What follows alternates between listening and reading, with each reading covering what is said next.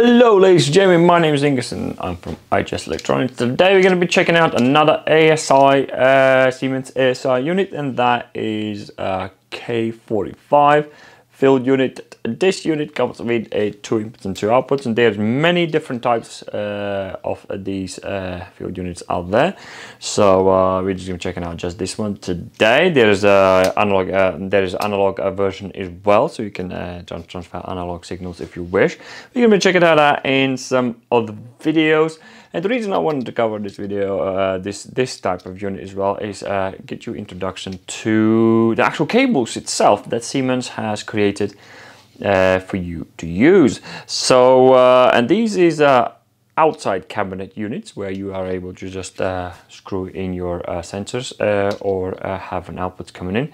There's two types of which is yellow and black, which we're going to talk about that in a minute.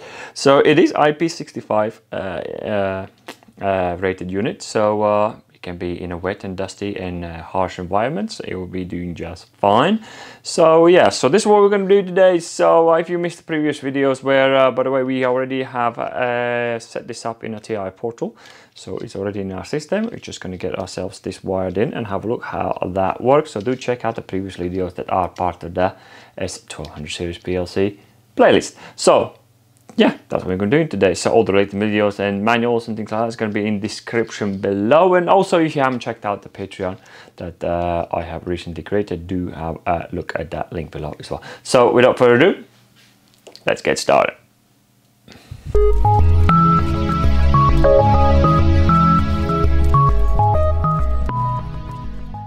So here we are. So the first things, let's check out the actual cable. These are the two units we just looked at it. So uh, cable reels comes like that.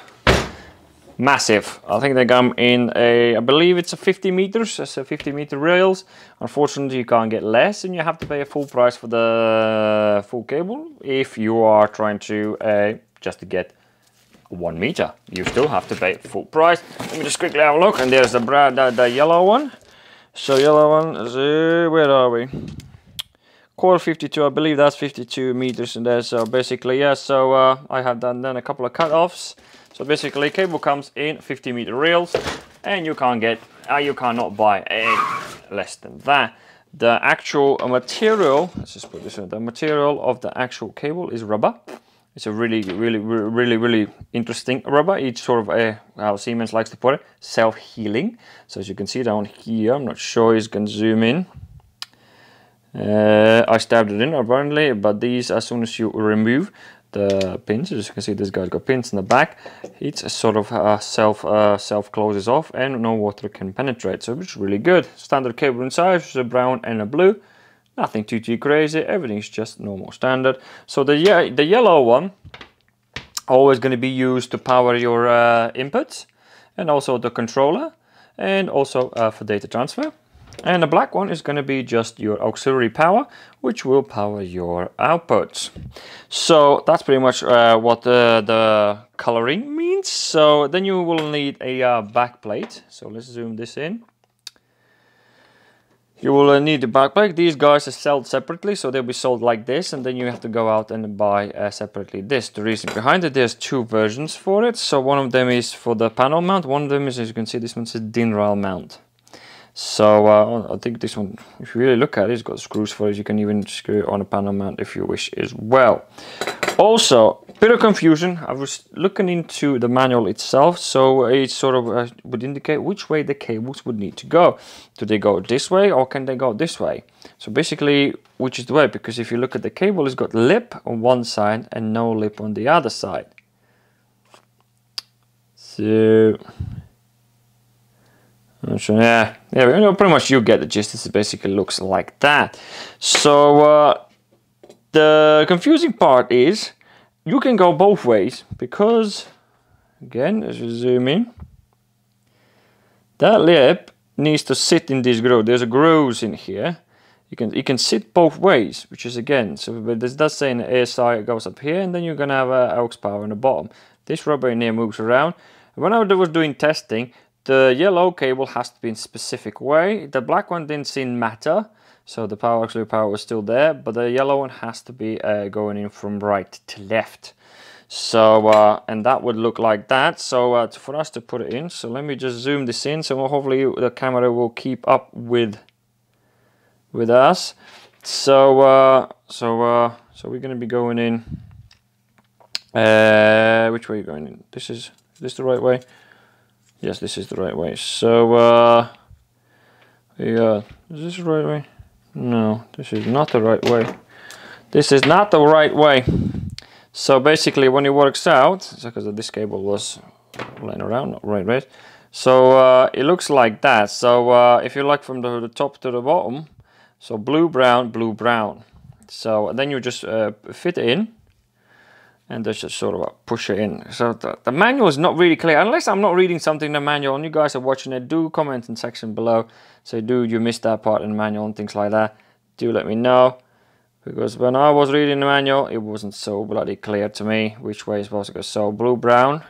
So on the, the, the next one, it actually goes uh, the same. So you sort of uh, put it uh, put it in and then we just sort of squeeze it inward so it looks it sort of sits in like that. So obviously I could uh, I could literally just keep going but this this is sort of if you have cables going around the machine sitting like that you can pretty much uh, jump on uh, connect to fairly easy this way. So just clamp onto it and you're good to go. And if you no longer need it you can unclamp it and good to go. And these pins in here will not let the water pin pen, uh, water or whatever will still keep the, uh, sealed what is meant to be the, uh, if it's not stabbed so it's really good.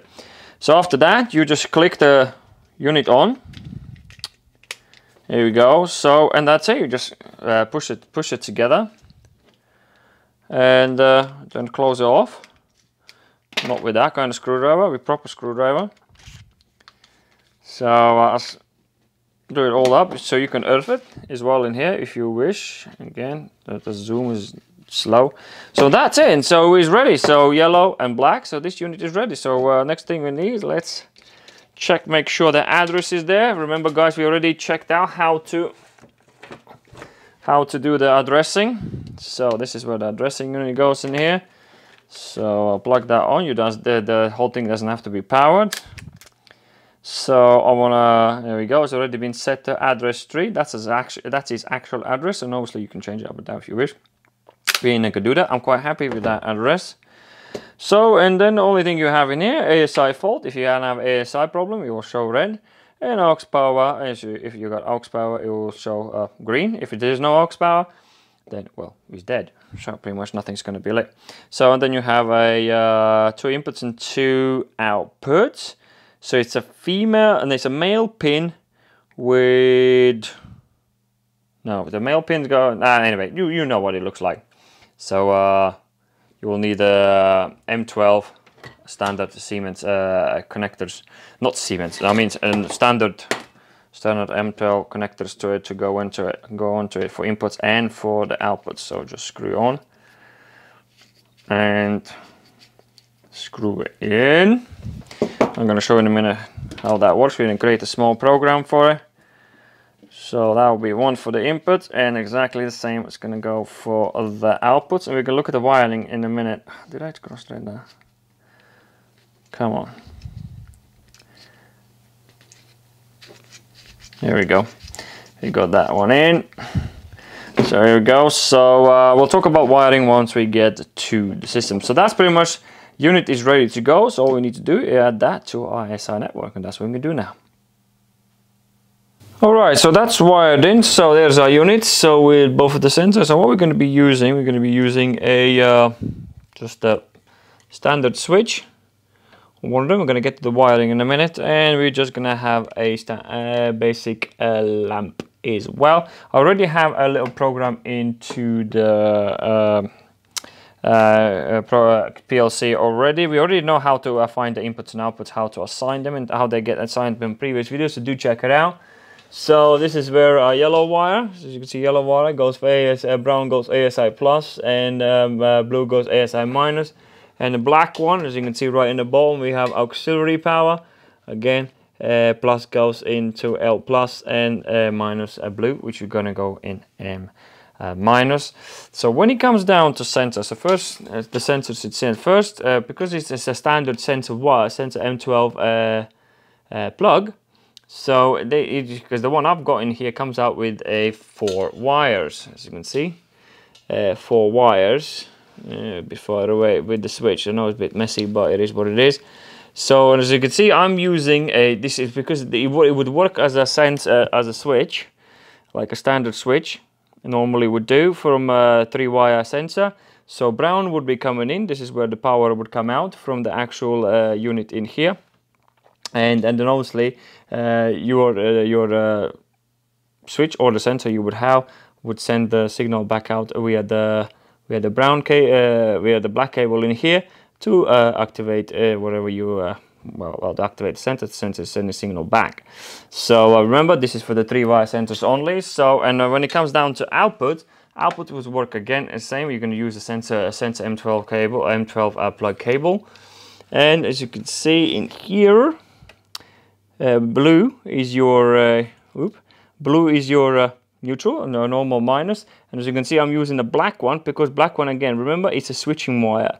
So when uh, switching would happen, it would naturally use the black one to output the the the the, the uh, 24 volt signal out. So uh, as you can see, the brown one and the white one is not used because we are switching. We're using the black one. So blue and the black to switch whatever you're trying to switch. You could switch contactors, you could switch whole lot of things. So do check out the current ratings or whichever uh, unit you are using from Siemens manual itself. I'm not sure you can see in here. Whatever reason my PLC is on but it's flashing red. So we're going to check that out. What is uh, what is he not happy with? Right here we are. So uh, here's our program so here's our unit so let's go online. So look where that problem is so uh, you can spend oh it looks like it looks like I might oh because I've been playing around I think I haven't plugged in the card. So if you go in diagnostics oh! Uh, diagnostics in here. As an error. Let's jump on that one. Let's have a look what the problem is. IO device failure. There we go. And I think I know what that is because if you go as you can see there's a question mark on it and it says PLC CPU and it says there's a card missing right here so I know what that is we're gonna sort that out in a minute so uh, we'll reset that one up so that's a bit of a fault finding for you so uh, let's go into the network view where we already set up the card in here. So as you can see, the uh, K45 unit is already added into unit. Uh, so we, uh, just a quick reminder, you go into properties and have a look at what address is being assigned to it. So IO tags, so here we go, there's IO tags be assigned automatically. You can already switch on a lamp on, and if you go into my uh, ladder program, again, very basic, just to test it. Come on.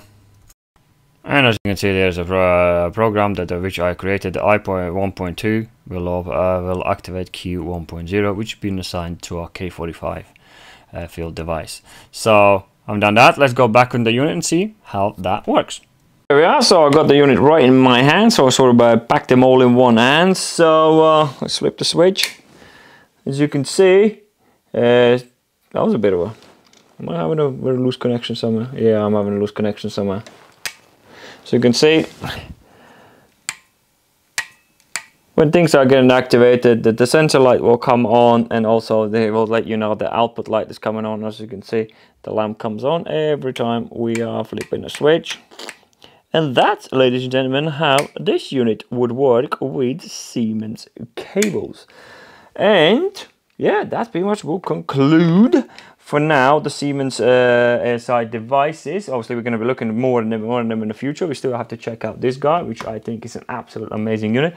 So, but anyway, that will be for the next uh, next time. So, uh, yes, if you like the video, don't forget to smash that like and do subscribe if you're new to the channel. And if you like what we're doing in here, hopefully this gives you a good understanding how uh, these bad boys works. If you see them in a factory, now you know what they do and how they work and how they can be fault finded and things like that. So, uh, so yeah, thank you very much for watching, and I'll see you in next video.